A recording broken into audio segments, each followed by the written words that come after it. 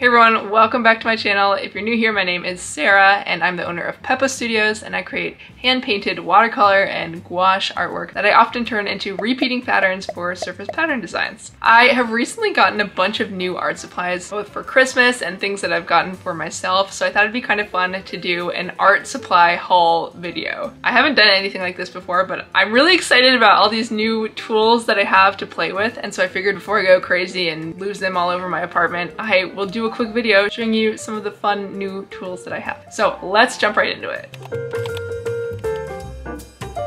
Okay, the first thing I want to talk about is this really cool handmade palette that my friend Julia sent for me. She didn't make it, but it looks like it was made by a business called Busy Hands. I'll show you. I really like how kind of irregular, it's very obviously handmade, but I think that's amazing. And I've actually been looking into getting something like this for a while, especially for the gouache that I use. So I'm really excited to play with this. I haven't tried it out yet, so You'll have to stay tuned to kind of see what I think about this, but I'm super excited. It has these cork stoppers here. I'm most nervous about using it around my cats though, because anyone with cats knows that things get knocked off of things. So we're gonna try and avoid that.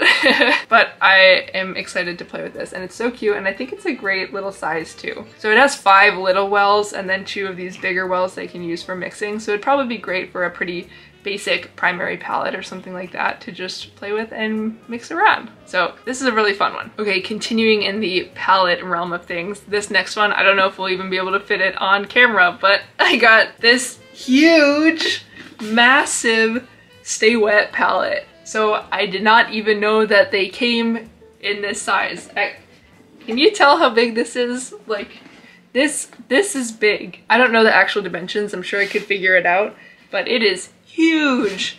And so if you're not familiar, a Stay Wet palette is basically used for things like acrylic or acrylic gouache that will dry out in the air. And well, let me open it up and I'll show you how it works. That lid is very airtight, which is good. That's what it's that's what it's there for, but it makes it a little bit tricky to open it up sometimes. so here's the one that I have. Maybe it has the dimensions on there. I don't think it has the dimension of this one. But basically the way that it works is that you can see here, there's the bottom of this is basically a giant sponge. And then on top of that sponge, you put one piece of this special paper. So you'll see that there's a big sponge here and then basically the way it works is that you'll soak this sponge to get it nice and wet. And then you'll put a piece of this paper on top. And the paint then that you're using goes on top of this paper. And the paint is not gonna get wet like from the sponge, but it's going to stay wet. Basically, it's not gonna dry out. It's not gonna get watered down from that sponge, but it won't get dry. Does that make sense? Am I making sense? so I'm really excited about this.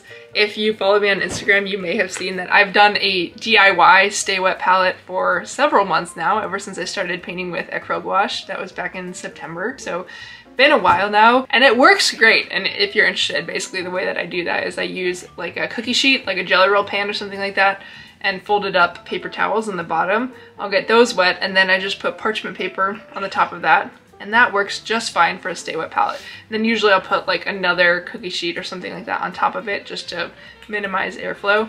And that's worked really well for me, but it does mean that I am not able to use my cookie sheets. and this is just gonna be a way better situation. So I'm really, really excited about this one as well. So I'm gonna move into some of the paper that I got recently. So this is, this comes to no surprise to anyone, but I got some more of this Arches cold press paper. It's my go-to, it's my favorite for watercolor, and my sister was kind enough to give me some for Christmas. I love this paper a lot and I use it a lot, so it's a really great gift. It's super high quality. If you're new in the watercolor world and you're using the really cheap watercolor paper that you might get from the craft store, like for me, I was using the cheapest possible pad that said watercolor paper when I first started. And I was like, wow, I must just be really bad at watercolor because I can't get any results anywhere close to what I'm seeing from other people online. When I switched to this paper, it was like night and day. It was crazy to see the difference. So it was really fun. Totally recommend this paper and I love it a lot. So I will make good use of this one. I got another pad of paper here that I'm really excited about. Which is the Fabriano Artistico, also cold press, 100% cotton, 300 GSM paper. And this one's great because as you can see, hopefully you can see, it's quite large. And this is also a watercolor block. So what that means is that basically it's glued around the edges here. So when you're painting with watercolor or really wet medium, it's not gonna buckle as much as just like a free piece of paper might. And so you're gonna keep your paper a little bit flatter. So I'm really excited to use this one. I have used Fabriano Artistico paper before, but not this particular one. And I loved the one that I did use. So updates to come here. Really excited. Yay. Okay, now moving on to some of the actual art tools that I have gotten recently, starting with all these brushes, woohoo! So these are exciting. As you can see, hopefully, these are flat brushes, a whole bunch of flat brushes. I have traditionally been using round brushes because I started with watercolor and round brushes have been really great for me with watercolor and just general use. I use them all the time for my acro gouache and gouache paintings as well. But I've been really curious to try some other paintbrush styles and so I decided to try these instead. So these were actually also all a Christmas gift. They're a pretty um, inexpensive set, which I think is ideal for me as I kind of try and figure out how to use these and if I like using these. And honestly, I feel like with a lot of brushes, as long as the, like I think that there are really, really cheap brushes where the hairs just fall out and it's, it's horrible to work with. But I think there's a good middle ground with some brushes too, where you're not spending like $50 for one brush, but it's still a solid brush and it does what you need it to do.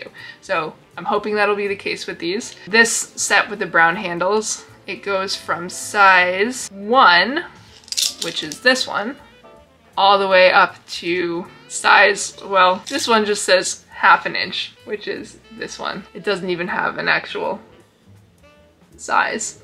the second smallest one is a size 10, so it's something bigger than a size 10. So I'm excited to start using these. Definitely keep an eye out on my Instagram stories if you want to see some real-time updates on what I think about them. All right, now moving on to some new paint I got. So I got these Holbein acrylic gouache. Yay, look at them.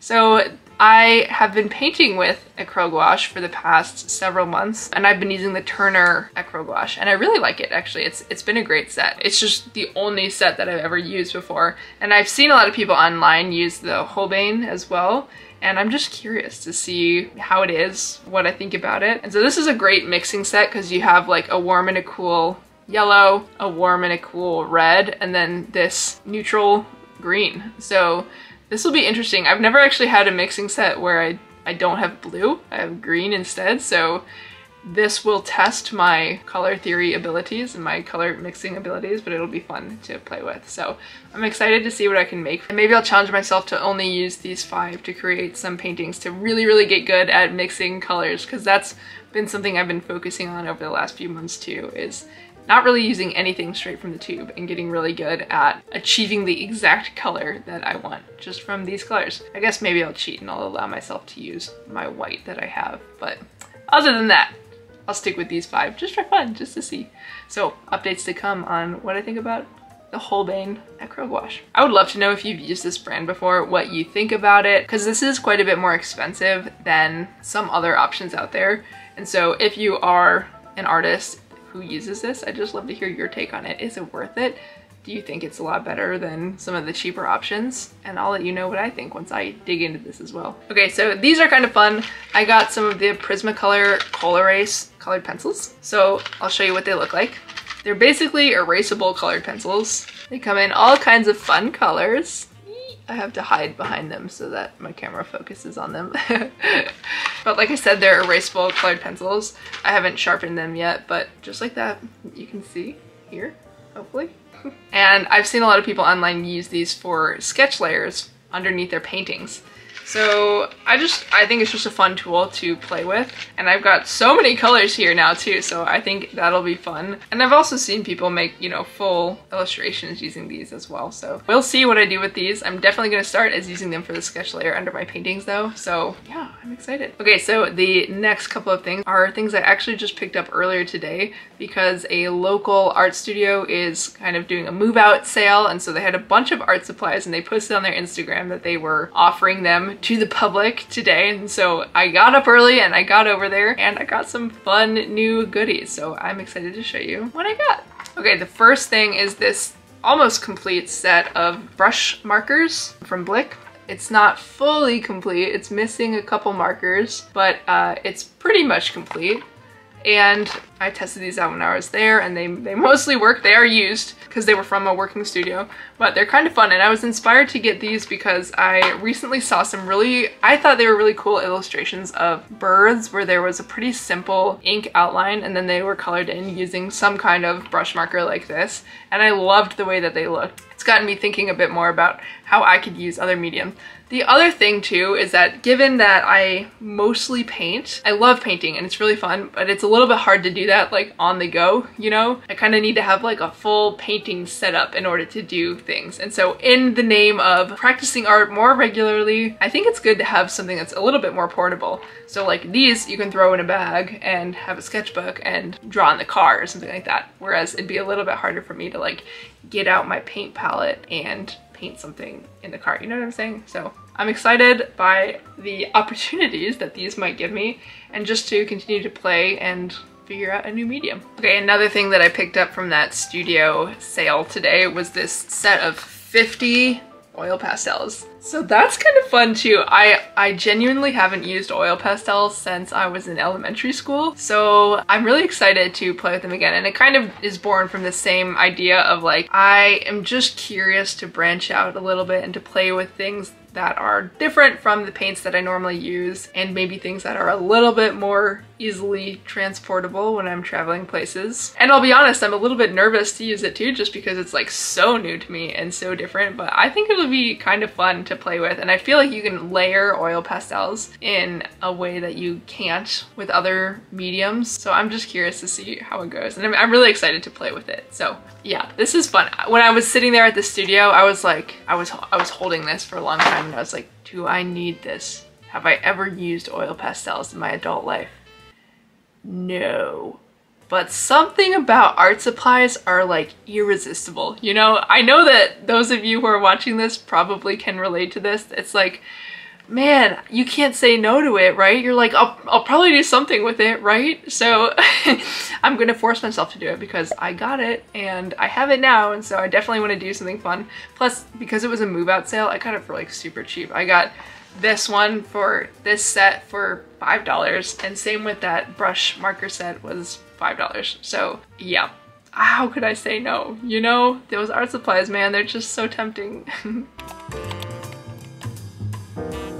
Okay, there are just two more things that I got from that studio sale today, and these are related to storage. So maybe that's not the most fun, but it's been something I've been struggling with for a long time is figuring out how to store everything, where it can all go so that it's easily accessible to me, but also not just like all over the counter, you know? So I got a couple of things. One I'm excited about is this little, I guess kind of acrylic drawer. It's, it's quite small, um, but these drawers, they come out like that. You can see my ring light here but I think they're big enough, well they're definitely big enough to fit like brushes and some of my watercolor palettes and things like that or like my tubes of acrylic gouache. So I'm thinking I'll be using this for those kinds of things. You can tell it was used, right? I need to clean it up just a little bit. It's got some scuffs on it, but you know, it's not like it's gonna look perfect when I use it either. But yeah, I'm excited for this one. And the last thing is very simple, but it's just another little kind of plastic container here. Again, I don't have like a perfect vision for what I'm gonna do with this quite yet, but I might put like a mason jar in it or something where I can put some brushes or something to organize those brush pens. I don't, I don't really know quite yet, but this is gonna be used for organizing my art stuff in some way because I could use it I do have stuff kind of all over at this point, so I need a little honing in, if you know what I'm saying.